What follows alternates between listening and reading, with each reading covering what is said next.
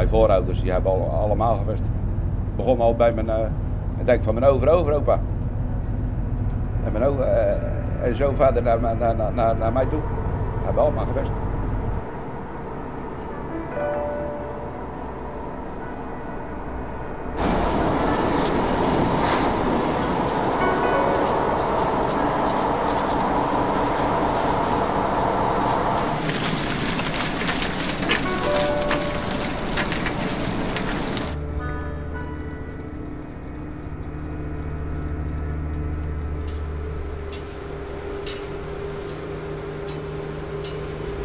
het uitvaren, dan uh, het is gewoon een kick om weer uh, een mooie, mooie plek te vinden en veel te vangen. Het is gewoon, uh, ja, je hoopt altijd weer met een mooie reis terug te komen. Dus ja, als je uitvaart, dan, dan zit je gelijk te denken van waar zullen we toch eens heen gaan om deze week weer een mooie reis vandaan te halen. Elke week ga je weer gewoon met volle en frisse moed opnieuw proberen van je boterham verdienen. En soms dan weet je al van tevoren, daar ga ik naartoe. Dat is ook wel een beetje, ja, dat is niet een vastgesteld punt van daar ga ik vissen altijd. Het is elke week weer een, of dat je een goed gevoel erbij hebt. Dat, kan ik haast niet verklaren. Maar soms denk je van daar gaan we naartoe. Nou, dan ga je dat proberen. En soms dan denk je van dat wordt niks en dan moet je er juist wel zijn. Dat is wel even balen achteraf. Dan hoor je door de week van daar hebben ze veel gevangen. Ja, lomp, daar ben ik niet naartoe gegaan. Maar dat is natuurlijk vissers uh,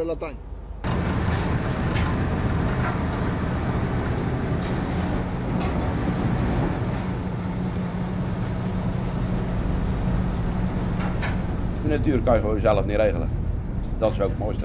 Je, dat is ook, uh, kijk, als je aan de wal werkt, dan weet je vrijdags al waar je, waar je, waar je, waar je vrijdags in je zak hebt. En dat is bij ons niet zo. Bij ons is het altijd verrassing. Het, het trekt gewoon. Je wilt, uh, je wilt toch wat water op. En waar dat er vandaan komt, ik weet het niet. Je moet het graag doen. Of je houdt ervan, of je haat het. Dat is het verschil. En met mijn gisteren niet.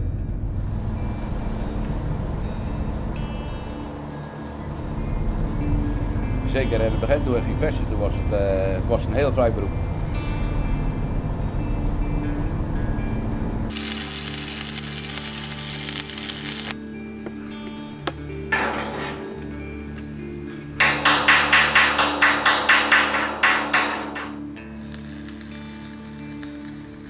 Zelf nog geen vestenman meer.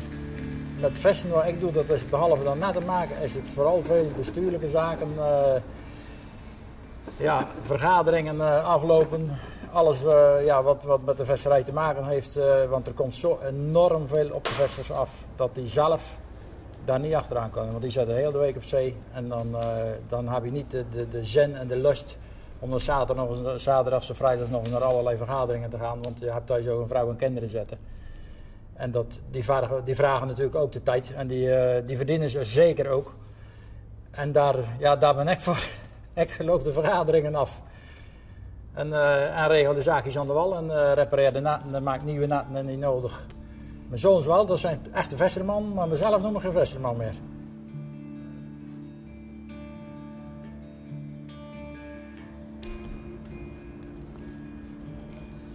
Dus toch, uh, toch vind ik het iets moois. Ik was ook heel blij en heel trots dat mijn jongens uh, verder wilden met dat beroep. Dat, zeker wel. En, en ik hoop ook mijn, mijn kleinzoons later ook dat die ook weer uh, worden. Want ik, ik blijf het nog steeds een mooi beroep en een eerlijk beroep vinden.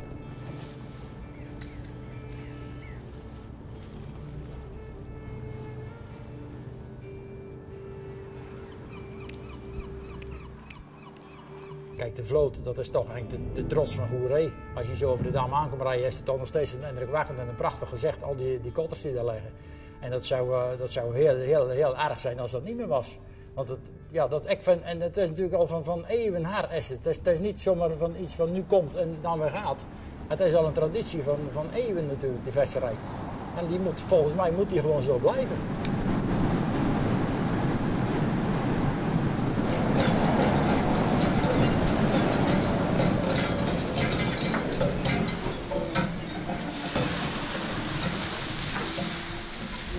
Dag en nacht bezig. We doen uh, ja, vissen, als je begint, dan hebben we een paar uur rust. Als we de haven van, uh, van Stellendam varen, Dan hebben we twee uur rust en dan, starten we met vissen. En dan doen we trekken van twee uur. Dus dan gaat het net in het water. En dan sleept het twee uur over de grond. Dan gaan we dat na twee uur ophalen. En dan, eh, dan gaan we dat net legen. Maar direct als het leeg is, gaat het weer terug in het water.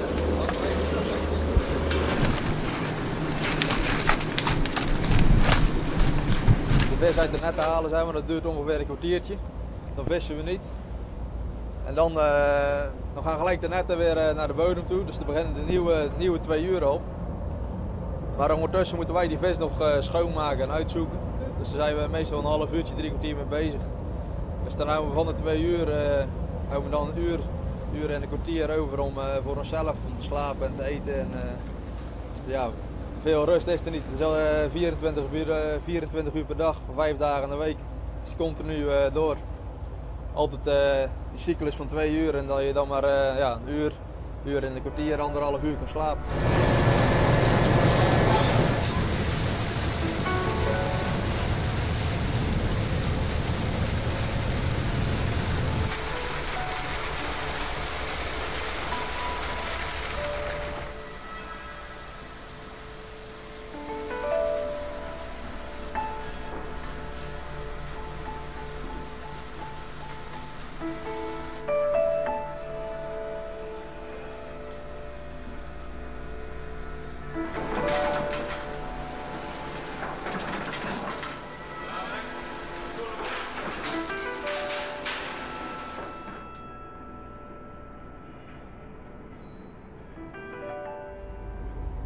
En zo gaat het een hele week door.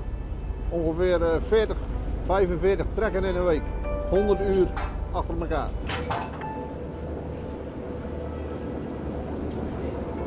S'nachts dan vang je meestal meer, dus dan eh, kan je me- meestal nog minder slapen als overdag.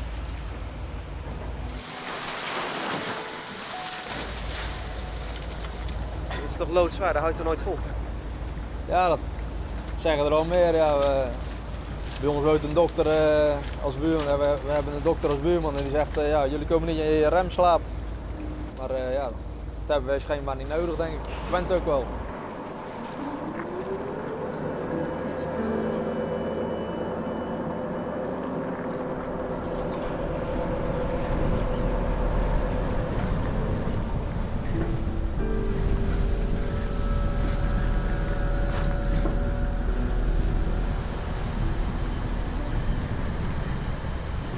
Vaak douchen jullie eigenlijk op zo'n week vissen? Nooit.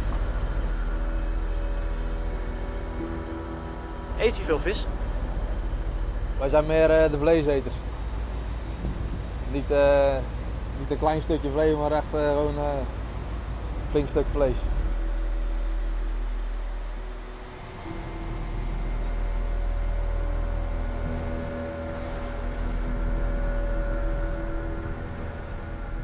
Ik denk dat er weinig zijn die echt met, eh, met de vader nog op zee gezeten hebben.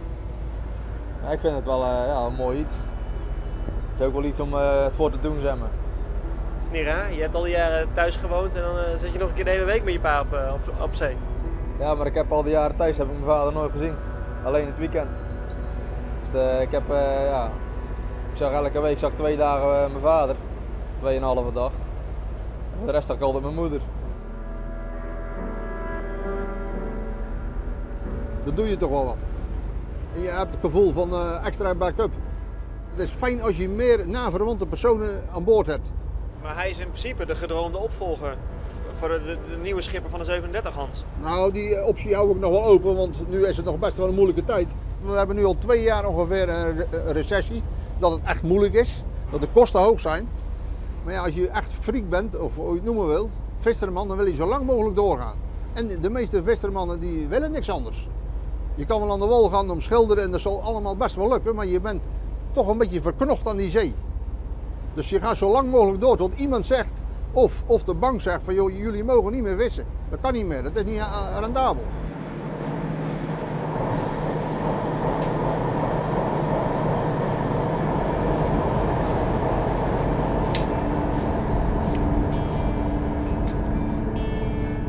Ook, eh, had je ook gewoon eh, jaren dat wat minder was. En je had jaren dat wat beter was. Of seizoenen dat wat beter was of minder was. Dat, eh, dat nu nog steeds eigenlijk. Nou, de laatste jaren is het wat minder. En dat, dat gaat eigenlijk de, de, de, de, de, vrijheid er een klein beetje af. Dat is eigenlijk wel jammer.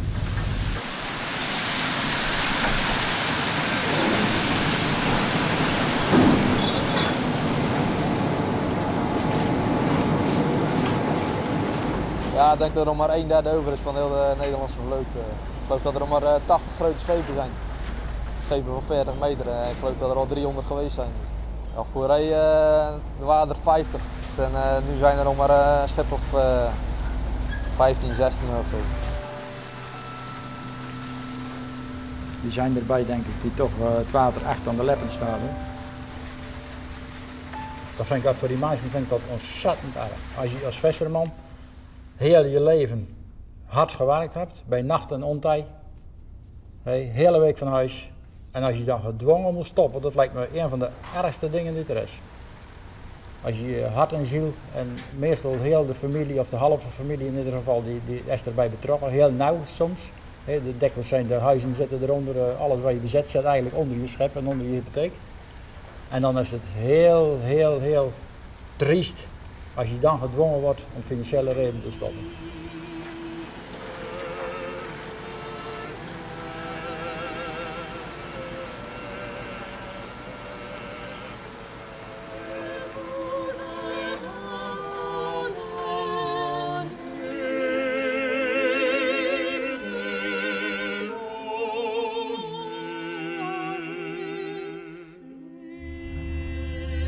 Ik lag nachten wakker.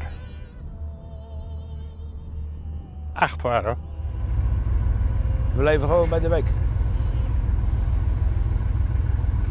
En eh, meer kunnen we niet doen. We kunnen nou niet stellen houden, dan heb je niks. Dan weet je zeker dat je niks hebt. Maar dat is niet bij ons alleen hoor. Dat bent heel de vloot hoor. Goedemorgen, valt nog een beetje mee? Nee, Nee, geen stormprijzen. Nee, per meter.